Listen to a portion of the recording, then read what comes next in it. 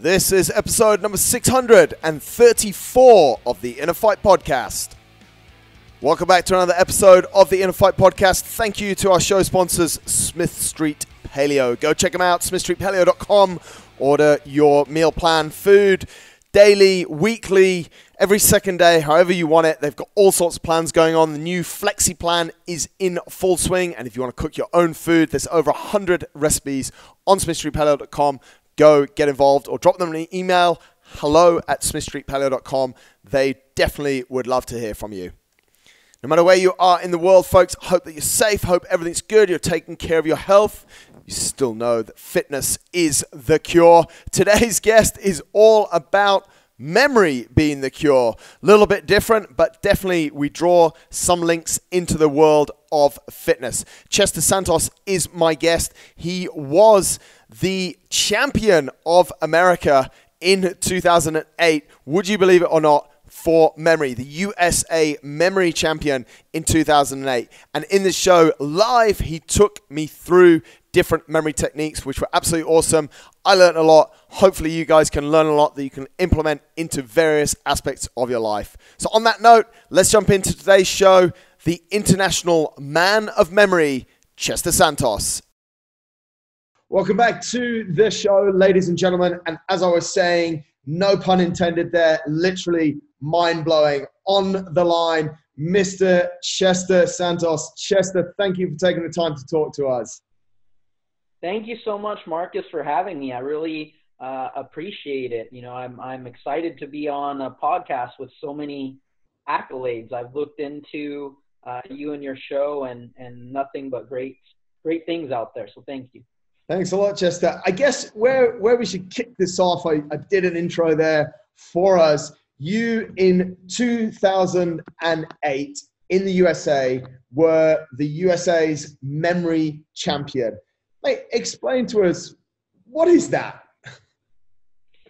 Yeah, uh, good question. A, a, lot of people out there still haven't heard about it necessarily. So there is an annual competition in the United States called the United States National Memory Championship. Uh, it's held in different locations depending on the year.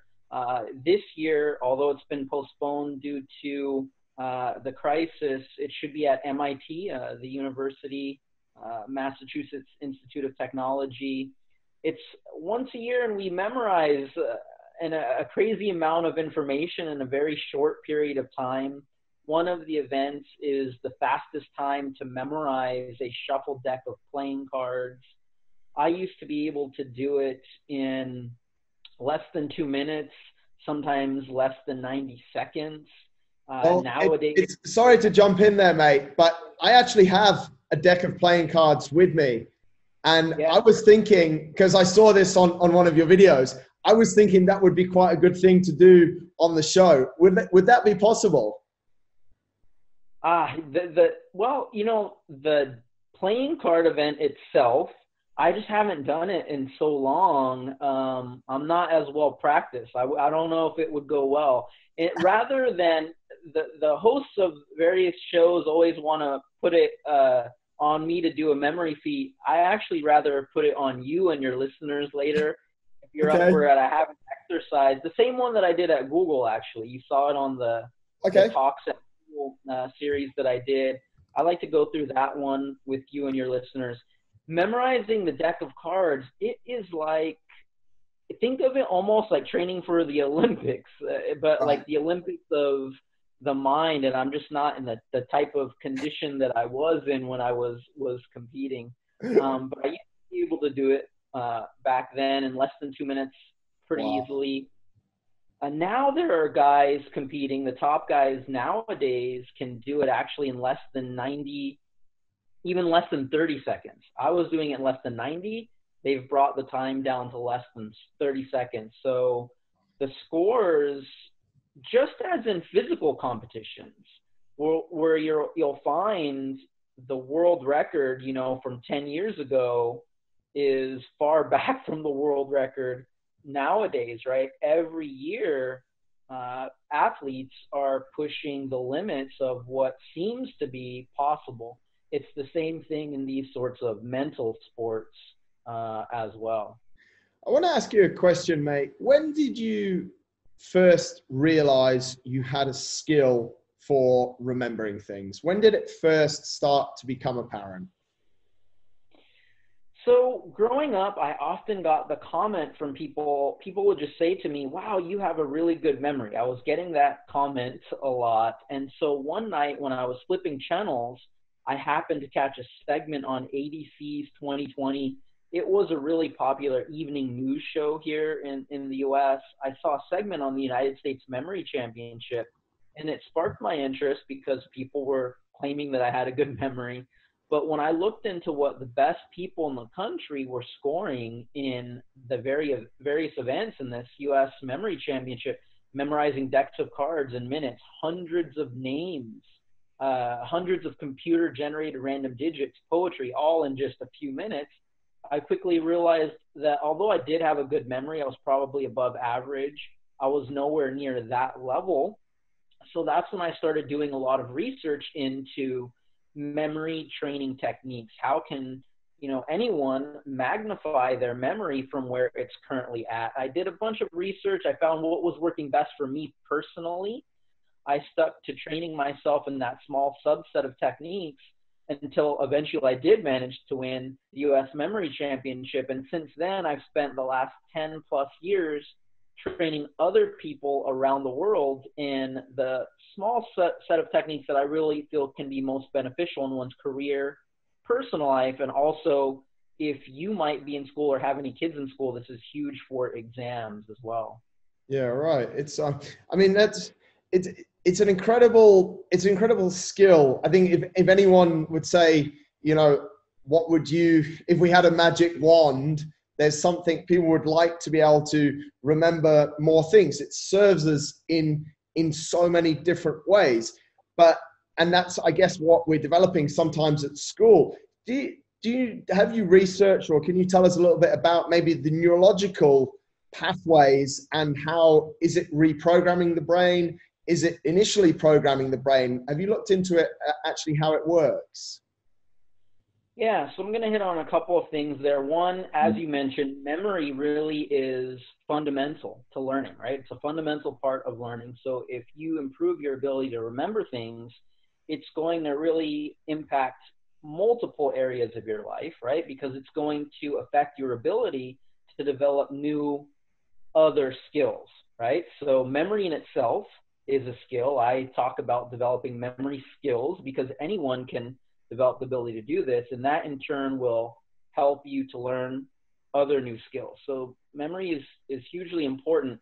In terms of the pathways in the brain, there are many different ways as to how these techniques work, depending on the specific technique that we're using. However, there are always going to be three main three main principles that memory champions like myself would use. Principle number one visualization.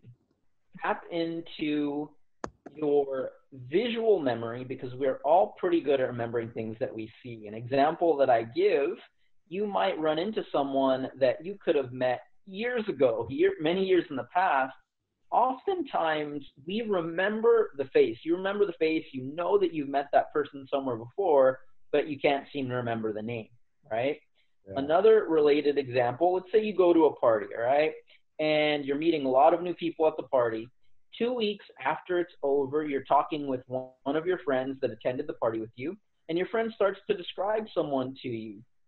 You know, your friend says, Remember that attorney that we met at the party the other week? He's also a member of Marcus's gym. As they're going through that description, a lot of times you can picture who your friend is describing from the party. Your friend can obviously picture who they're describing, but neither one of you can manage to remember the person's name, right? And it's really frustrating to both of you. A third and final example related to this how many times have you been describing to a friend or family member an actor from a TV show or movie? As you're going through that description, crystal clear in your mind, you can picture who you're describing, but neither one of you can come up with the actor's name and you're both frustrated by it, right? Those examples that I gave in relation to names in this case illustrate that we tend to be pretty good at remembering people's faces, but not nearly good as good at remembering the names. It makes sense because when you're interacting with people in various ways, you actually will see the face. The face is recorded into your visual memory, but you don't actually see the name. It's something much more abstract to the brain. So, one way that I talk about to get better at remembering names is to turn those names into powerful visuals. That's how at conferences I will open a lot of times with naming hundreds of people in the audience after just meeting everybody one time. It's by developing that skill of turning the names into visual. So we want to activate the visual pathways of your brain. That's going to be one thing. Second thing from there, we want to start to involve more and more senses as we can.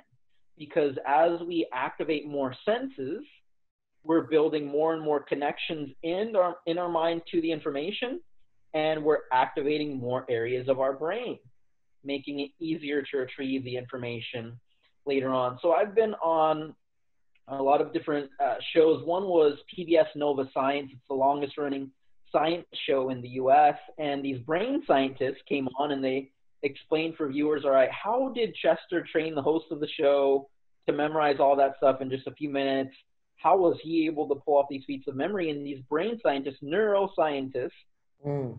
confirmed that it's because with these memory techniques that I've mastered and that I teach people, we are recruiting areas of the brain that most people would never involve. With these techniques, we're recruiting more of the brain to help us. And part of this is learning to utilize additional senses in order to activate more of your brain. So add that smell, touch, taste in addition to seeing it. Last principle, third and final principle that will always apply no matter what specific technique is to try and take advantage of the psychological aspect to human memory. And that is all of us, with putting forth little to, to no effort at all, we tend to remember things that catch us by surprise, that are weird, out of the ordinary, right? If if Marcus, where you're at right now, or you know, people that are listening to this podcast right now, wherever they're at, if an elephant suddenly crashed into the room and started to spray water all over you, if that happened right now, you would probably remember that for the rest of your life and always tell that story. You're never going to believe this. I was listening to this podcast interview out of nowhere, an elephant crashed into the room without you putting forth any effort. And people still, scientists still don't understand today how that works. How in one second something will go straight into long term memory, whereas other times we have really important stuff. We spend weeks, months trying to get it into our memory and we can't do it, right? Yeah. Although it is, it might not be fully understood how that works. We realize there is this psychological aspect to memory. So, a quick review what I covered there visualization, additional senses from there and use your creativity and your imagination to make it all weird, crazy, unusual. When you can put those three principles together, instantly it will become much easier to remember just about anything at all. I think people will be really amazed at what they're able to accomplish when they master those three principles.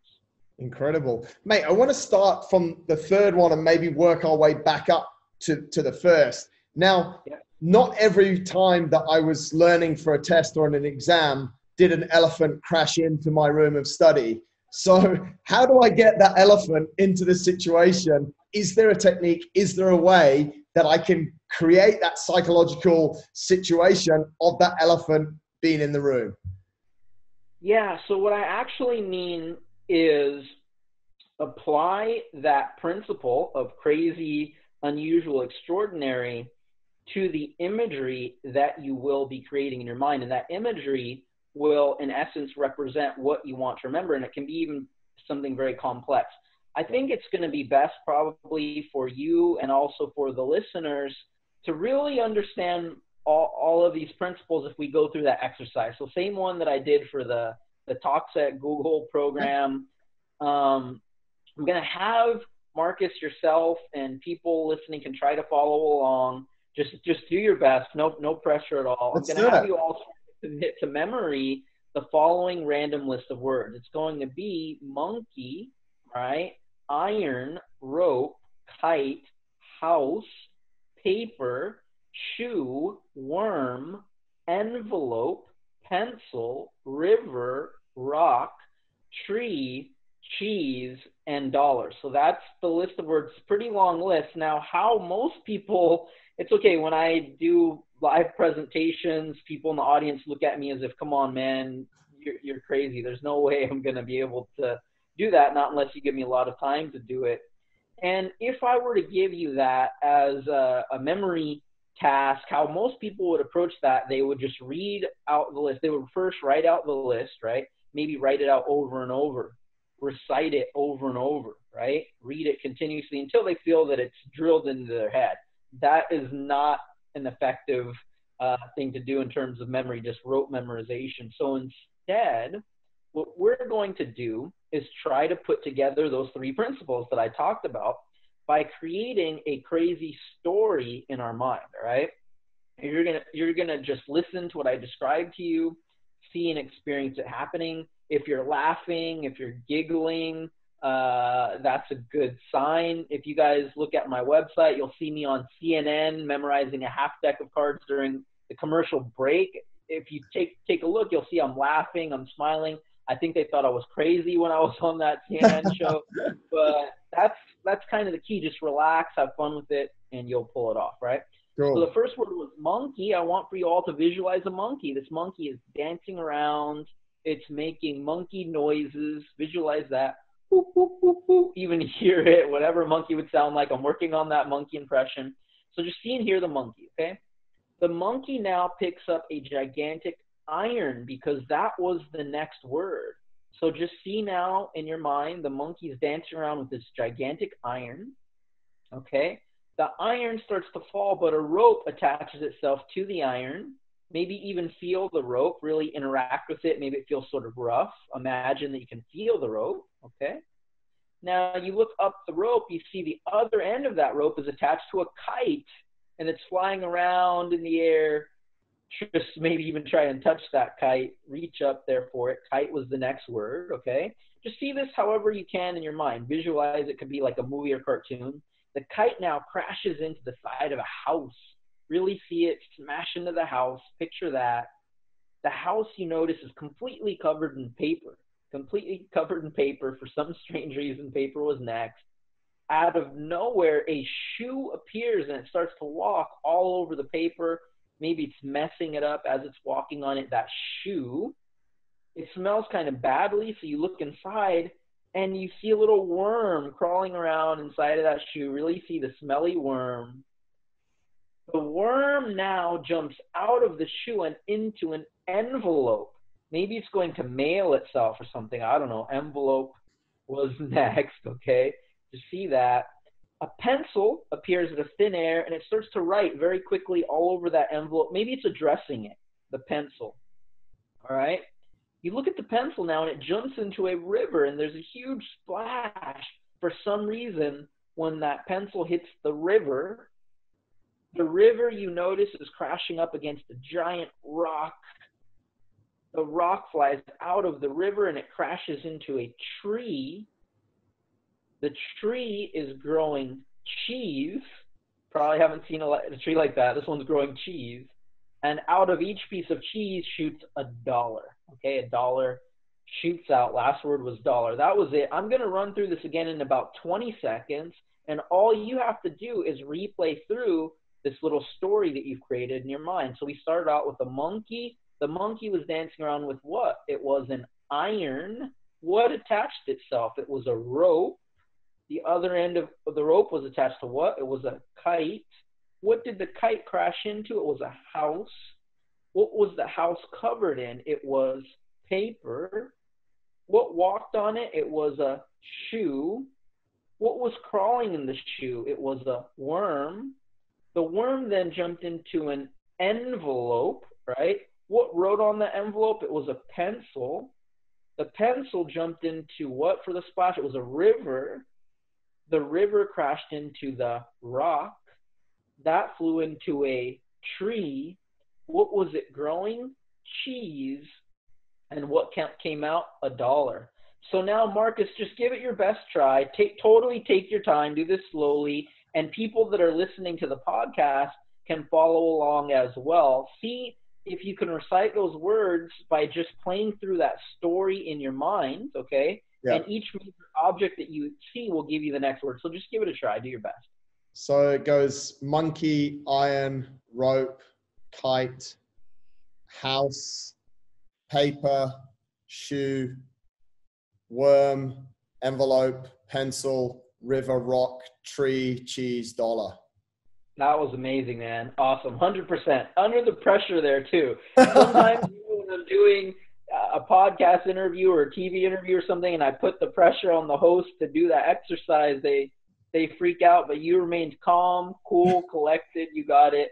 But because you did so well there, Marcus, because you did so well, no, I'm done. I, I want to see if you can try, take your time. You can do this slowly. Try to go backwards, and people that are watching this or listening to this interview can attempt it as well. Just do your best. Take your time backwards.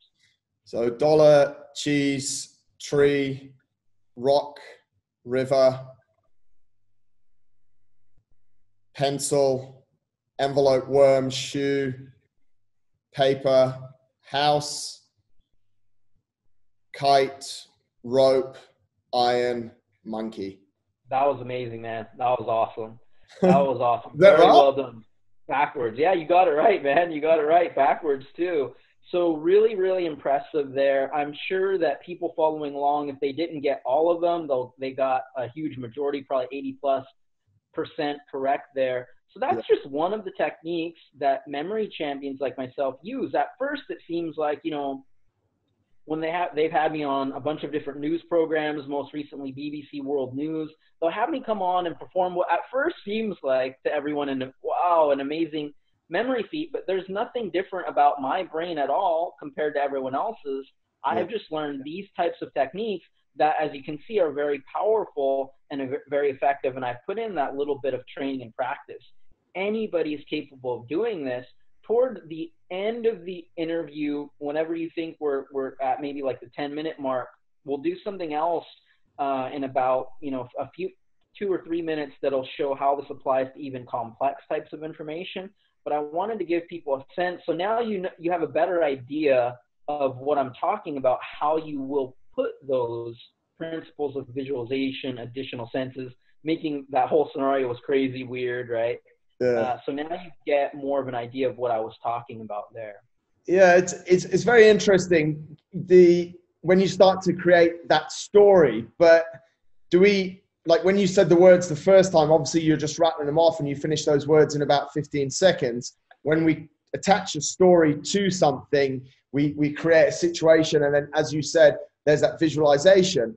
But I guess some people are thinking exactly what I'm thinking. Like that was great because it was like 15 seconds and then chester told a full story like of course i'm going to remember a full story i know there's a little bit more to it but how can we how do we remember people's names when we i mean i saw your ted talk and you remembered 100 people's names and you've met them for a split second is it really just training the same systems over and over or is there like how does it really work Yeah, totally. Uh, very good question there. So one thing, yeah, I guided you through the story because again, really what one of the most important things I think people need to realize as they're watching this episode of the podcast, what we are talking about on this episode are memory skills. All right. So these are skills that you're going to develop.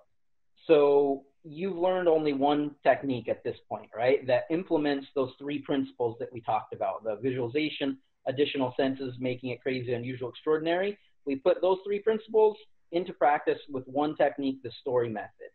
Now, it's going to take you a bit of time because you just learned it. As you develop the skill, you will actually be able to create that story as the person is rattling off the words. right You will be that fast. Okay, so this is very practical. I teach executives to implement this to remember more information from business meetings, meetings with clients, potential clients. As a, you have a bunch of people uh, talking, you're trying to keep track with all of your notes. But if you can quickly file that away mentally, yeah you're going to absorb more information and get more out of it. So that was one thing I wanted to address. Keep in mind, you just started now. as you develop the skill, it's going to become more automatic for you and, and obviously more useful to you in business, personal life, and in school. Yeah. Now, the names, it's a whole nother technique, right? So, you know, I have an entire online memory school that right. teaches you this stuff that consists of two main core. Each course has more than six hours of interactive training. There's a core training course, there's an advanced training course, and then there's ongoing training every single month. So keep in mind that there's a lot of stuff to learn, right? Um, so it would be a totally different technique for names. Right. Okay. But, but the same principles will apply. So when I'm meeting people, I ask myself, one thing I do is ask myself, how to me does this particular person look unique? It could be a particular facial feature, could be something about their look overall, and I'll try to exaggerate that in my mind and attach an image that in some way will remind me of the name. So I'm, let's say I'm attending a conference. I'm meeting a woman there at the conference. And to me, I'm, when I ask myself what what's noticeable, I think she has really beautiful hair. That's just noticeable to me. I would then want to focus in on her hair. Okay, if her name, for instance, is Jane, I might then imagine that her hair is actually made of chains and the chains are clacking together, making a really loud noise. Maybe some sort of aroma is even emitting from the chain. So, again, all of those main principles will apply that I talked about, yeah. but we're approaching it in a completely different way. The implementation is different. So, how this works is the next time I see her, right? Let's say I'm seeing her later at, um, you know, a different seminar or something, right? At the conference all I have to do is ask myself, okay, what's noticeable about her look? What I personally noticed about her look before is very likely what I will notice again. That imagery is going to come right back to me of the chains in her hair, right? Chain might remind you of Jane, okay? So, and you know, if I'm meeting someone named Mike, I might use a microphone that would remind me of Mike. If I'm meeting someone named Alice, sometimes I use a white rabbit because that might remind me of Alice in Wonderland. So that gives you a little bit of an idea of how this works. That's just one of many visual based techniques for names. And in my uh, online memory school, I actually will simulate introducing you to people. So you're going to have a slideshow. This is Jane. This is, you know, Mike. This is Alice, and so on. So you'll really develop that skill. Like that's incredible. It's it's, it's all so fascinating, and and and I, I have so many questions. And I, what what I want to jump to the second point that you said because I think this is super important, where you spoke about recruiting more senses, recruiting more of the brain. Now we've proven in that exercise, and lots of people understand about visualization. And when we attach these these visual things, talk to us about more senses. How do we, what are these more senses that we're talking about and how do we recruit them? Yeah, so there there's a lot to it. I covered, you know, the very basics um, so far, but as you get deeper and deeper in developing the skill, you can just add so many more components to make this all more effective and to increase your speed, right? When you're trying to commit things to memory so really what I meant there was just as opposed to just seeing the chains, right, in the person's hair, you've only got a visual. Imagine that you can even smell the chains. Maybe right. even you imagine that you're feeling the chains. That's what I mean because believe it or not, it's very interesting. People can read up on this later on they've done research that proves when they have someone touch something, for instance, they can see exactly what area of the brain lights up. Yes. They will then they will then have that same person merely imagine that they touch something and that same exact area of the brain will light up. So in fact, yeah, it's amazing. So in fact, when you are doing that, you're activating all these different areas of your brain when you're adding the other senses to the stuff that you're experiencing in your head.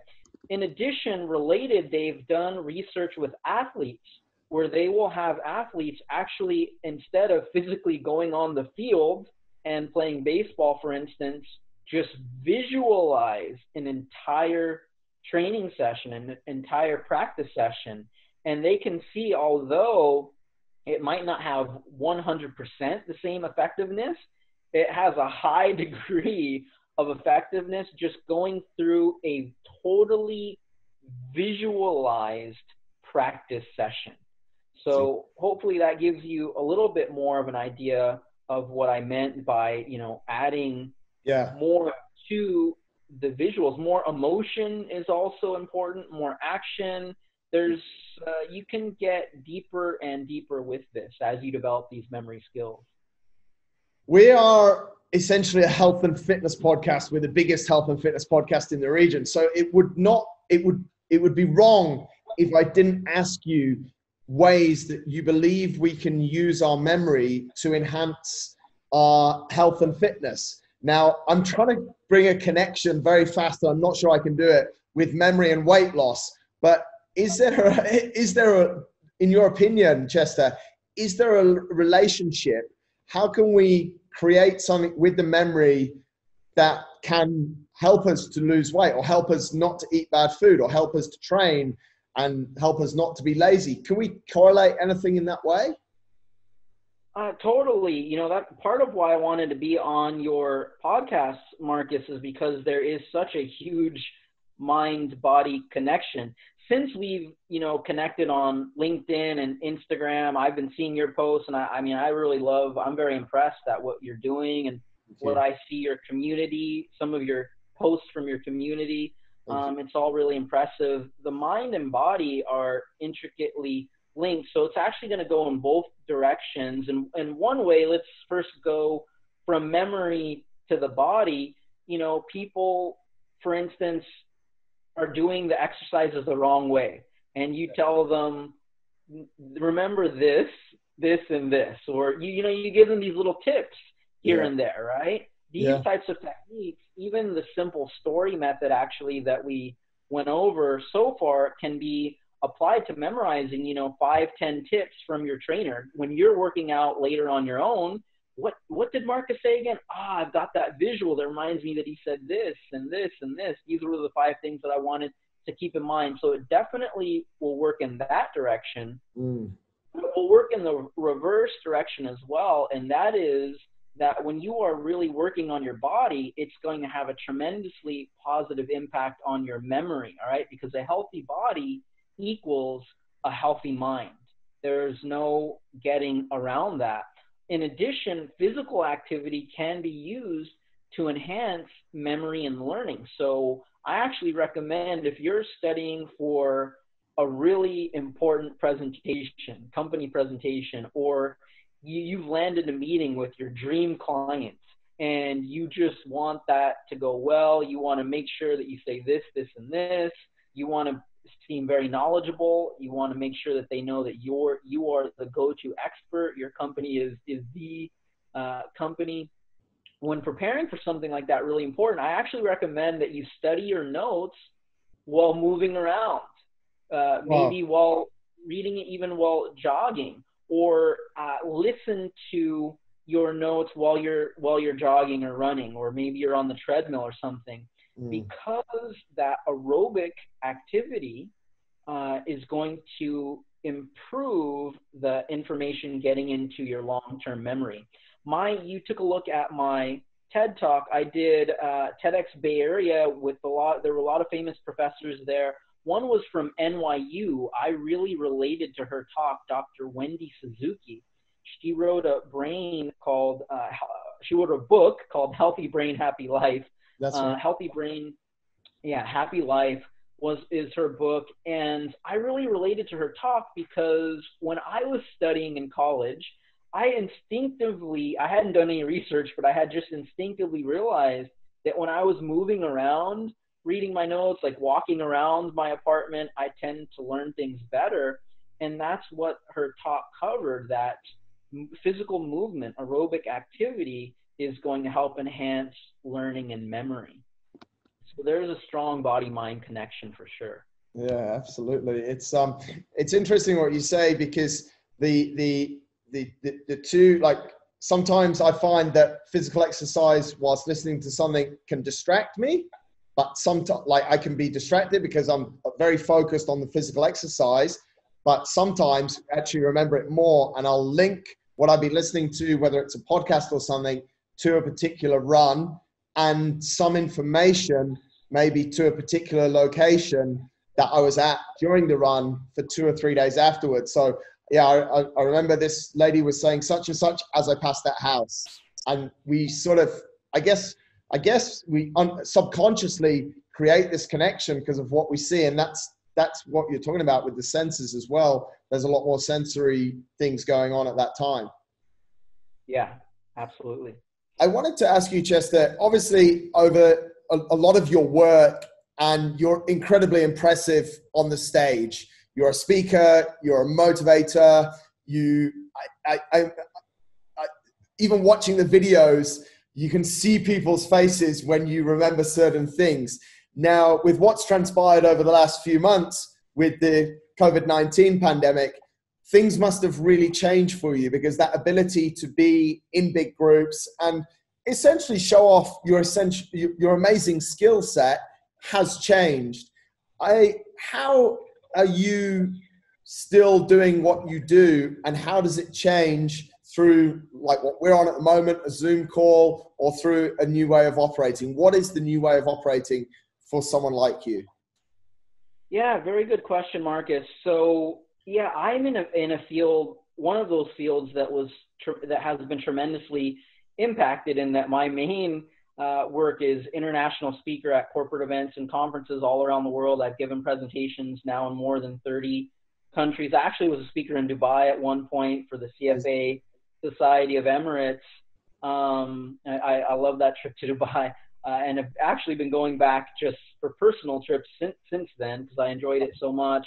Um, yeah, it's it's hugely impacted because there won't be, we don't know when they, even as places, various cities around the world start to open up, we don't know when they're going to allow large events again, such as conferences and corporate events. Yeah. So I have been doing some uh, virtual seminars. Basically, my presentations have not changed at all, other than I have to cut out the demonstration portion. Okay. Because it just it, there just really isn't an, an, effective way to do the eye-catching uh, memory demonstrations over the internet, right? So I can't do that. Uh, you know, my most famous demonstration is the one where I name hundreds of people uh, yeah. in the audience. That's obviously not possible over a Zoom call. And then even other demonstrations that I sometimes do, it's just not um, as effective virtually because people don't know do I have no do I have a cue card somewhere in front of me? Or you know you don't, virtually you don't know what's going on. Oh, yeah. whereas obviously when I'm there in person at the conference people see it's just me and my brain right? There's nothing else uh, nothing else there.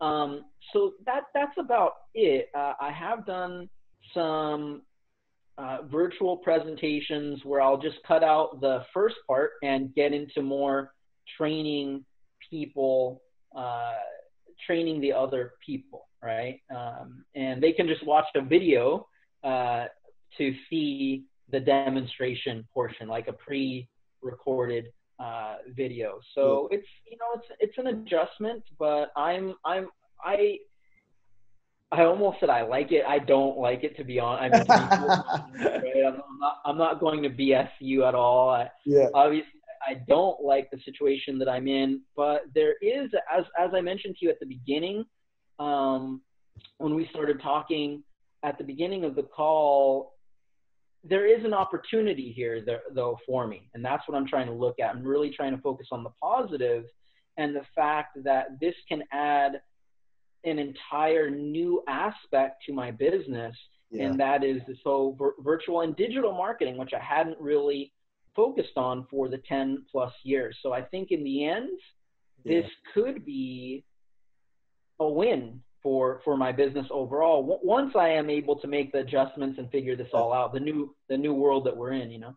Absolutely. Mate, you asked me to tell you when we're in the last 10 minutes. We're into the last 10 minutes. Did you want to try something else out on me? Is, is that what I'm setting myself up for? Yeah, yeah, yeah. You're doing great, Marcus. And so you're you're a good guinea pig for, for this.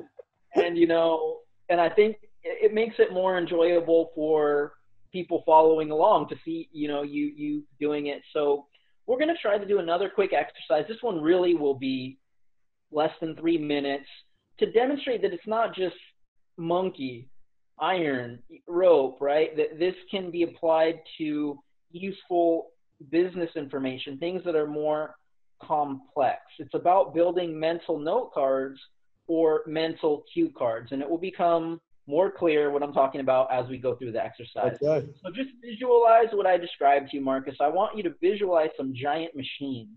Whatever that looks like to you, visualize some giant machines these giant machines are smashing up a huge pile of gold and silver. right? they're smashing up a huge pile of gold and silver. Rising up out of the gold and silver, vehicles. You see vehicles rising up. Shooting out of the windows of the vehicles, medicine. Okay? And exploding out of the medicine, oil probably black petroleum oil is easiest to visualize. That was it. I'm going to run through this again. This one's quick and easy. We had at first what? Giant machines.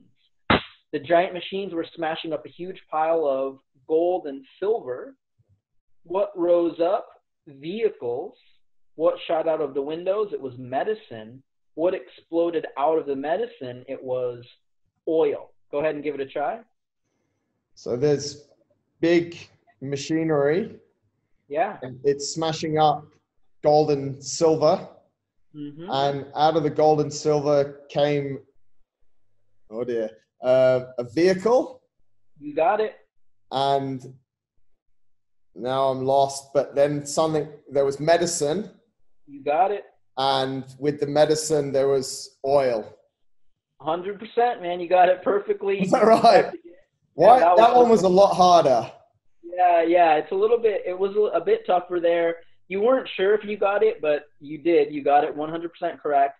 And I mean, just one or two reviews that will take you like a minute to review it mentally, and you would have it down perfectly. What you've just memorized there, and people following along, you've all just memorized the top five exports of the UK.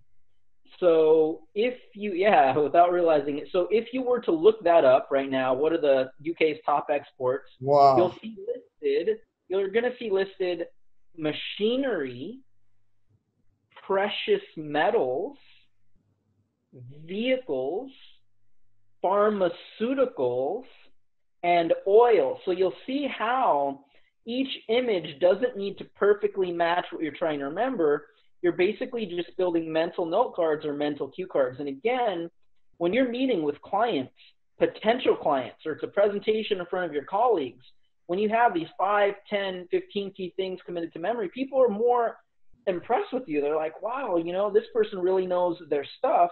You're yeah. better able to demonstrate your expertise. And in today's business world, right, in today's society where the average person can't remember that much at all anymore because we're yeah. outsourcing our memory to these electronic devices, when you develop your memory skills even to a small degree, you're so much more impressive. You are more memorable in business, right? People are more impressed with you. They're more likely to remember you as an expert in your field.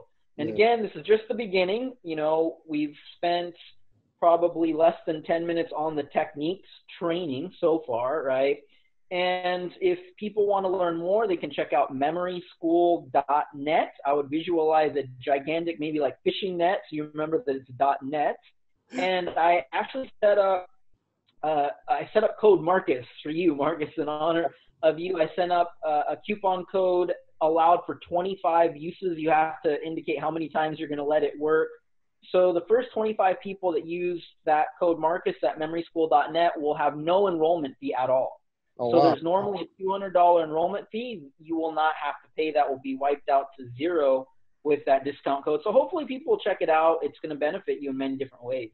I'll um, I'll stick that in the show notes for people. Just scroll down whatever device you're you're listening on, or go over to the website innerfight.com slash podcast podcast six three four, and you'll get that. That's very kind, Chester. Thank you very much for that, mate. I want to finish up with with actually two questions. One wasn't on my list of questions, but you've just put it into my mind, which is about how our memories are perhaps changing because of devices because we can get everything we can get the answer to pretty like it's very interesting to know the five biggest exports of the UK but generally if someone asks me that I can probably google it real fast and get it. What's your thoughts on that? Is there a like are we in a bad situation where we're not being forced to train and exercise our brains when it comes to memory because of these devices? Is it bad? Or what should we what what are your thoughts? Yeah i mean i do. Uh, i think we're in an age of dangerous digital dependency is what i like to call it. You'll hear me use that uh, terminology in some of my talks depending on what what the organization is but sometimes i'll dangerous digital dependency. Um, it's very true. An example that I'll give phone numbers. We all used to be able to remember the phone numbers of so many yeah. friends, members. I remember growing up, my parents would give me emergency numbers that they thought were important for me to know. We all used to be able to do that. Nowadays, you give someone even one phone number and they feel completely paralyzed. They cannot even commit one number to memory. It's a very good example of the use it or lose it principle as it applies to memory. Another one, navigation, GPS. Mm. So, you know, New York City and London taxi drivers were world famous for their memory ability, so much so that universities were doing research on their brains. But it's becoming less and less common, even for taxi drivers, to have that navigation ability. I've gotten into a taxi in San Francisco where I live, asked them to take me to the Civic Center. Anybody should know how to get there. But if there something's wrong with the network connection, or something's wrong with the app, they cannot get there. You have to pull over, they'll restart their phone a few times. Uber and Lyft, this has happened to me many times in Uber and Lyft. Even if that driver's been driving for Uber for five years already in that city, if something's wrong with the app at that time, or you know they need to restart their phone because of the network connection, you just have to pull over somewhere and hope that things resolve themselves because they haven't even learned a few streets after five years because they've completely turned off their brain, right, to become dependent on that GPS. So there is a danger in too much digital dependency. In the case of like the exports, I just gave an example there of something kind of random, but you would decide once you would develop the skills, you would know what information would be beneficial to you to know when you're getting into a meeting again with the potential client. For instance, I, I've been a one man business now for 12 plus years, and I've had to hire, you know, web people, PR people, all sorts of attorneys, all sorts of different professionals. Granted, I'm a little bit on the extreme end given what I do, but if I meet with someone and I'm asking them something and they say, "Hold on, let me uh, let me Google that really quickly," yeah, and I and I ask them something else, you know, I ask them something else that I need done, as part of this project, and they say, um, hold on, uh, I've done a little bit of, let, let me Google it really quick. Ah, oh, yeah, it's this. I personally will never hire that person. Yeah. Because to me, they, yeah, they can get by, they can do the job probably for me, but but they're clearly not the expert, right? They're clearly not the expert. I want to hire the person when I meet with them, and they're like, yeah, it's this and this, and by the way, did you hear about this? And I'm just blown away by their knowledge, right? What is in their mind, not what they're able to look up, right? Yeah. I perceive that person to be an expert. And in those cases, I've actually gone out of my way. I remember I did it a couple of years ago, the particular case, it was for social media, it was for Instagram marketing, where I went out of the way to pay more than I originally budgeted for that particular project because I was just so impressed with the person's knowledge. Wow. You know? Incredible. Very good story and well well hammered home point there, folks. We need to commit more to memory, train the skills of learning things rather than train the skills of our thumbs. Just that I really appreciate your time. I'm going to link everything up in the show notes. I'm going to link to your Instagram. Folks can go over there, watch Chester's TED Talks. As he said, one of his, what I would just say is his best party trick is he names every single person in the audience. I was just like, this is literally mind blowing. But mate, before we before we part ways, I have one final question for you. You've offered up a lot of advice here. You've obviously learned a lot in your life and met a lot of very interesting people as well if and i'm sure people will take away the memory skills those two things that, that you showed us and you demonstrate on me and i will definitely but if there's one piece of advice your key best piece of advice that you can leave the listeners with what would that be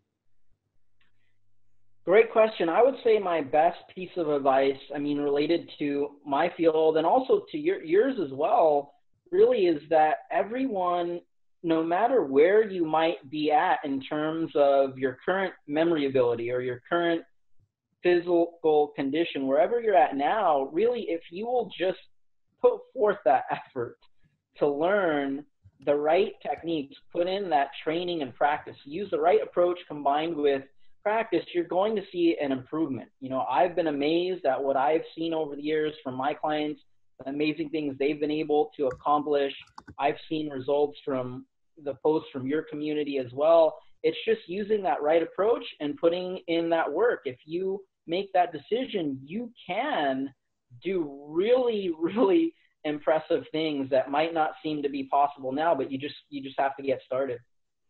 Absolutely. It's really and that in that mate, you've proven that it's just training the mind, same as we train the body.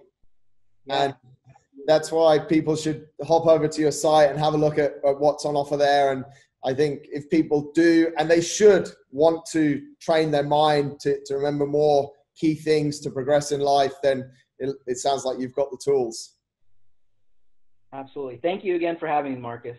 Thanks a lot, Chester. I really appreciate it. I will link everything in the show notes. You're absolute champion and very impressive, mate. Thank you. I look forward to keeping in touch. Thanks a lot, Marcus. Awesome. Thanks, buddy.